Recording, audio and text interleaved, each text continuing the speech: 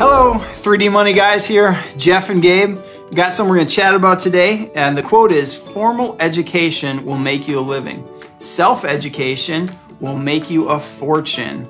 Super interesting. What do you think, Jeff? Yeah, Jim Rohn said that, and years ago, I had somebody tell me that, you know, Jeff, a man is worth about $8 an hour from the neck down. From the neck up, it's unlimited. And he said, Jeff, so you got to decide going forward which end you're going to earn your money with, which end you're going to earn your income with. And so I made a commitment from that day forward that I was going to invest in neck up.